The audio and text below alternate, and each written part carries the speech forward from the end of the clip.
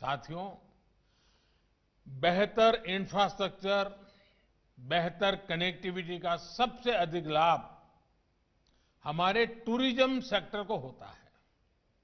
मेरा ये हमेशा से मत रहा है कि टूरिज़्म एक ऐसा सेक्टर है जिसमें हर किसी के लिए कमाई के साधन है।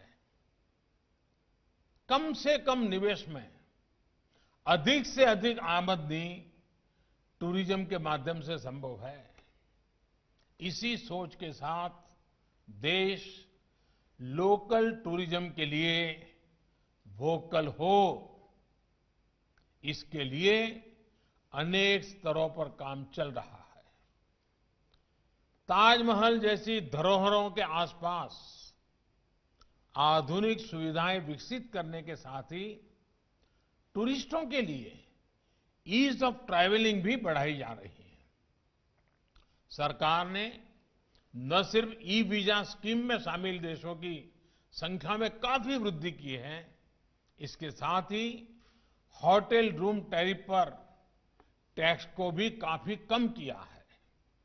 स्वदेश दर्शन और प्रसाद जैसी योजनाओं के माध्यम से भी टूरिस्टों को आकर्षित करने के प्रयास किए जा रहे हैं। सरकार के प्रयासों से भारत अब ट्रैवल और टूरिज़्म कॉम्पिटिटिवनेस इंडेक्स में चौंतीसवें नंबर पर आ गया है।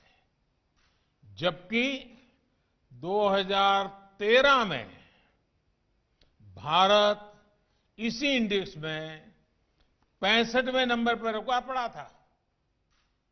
आज वहाँ से इतनी प्रगति हुई है।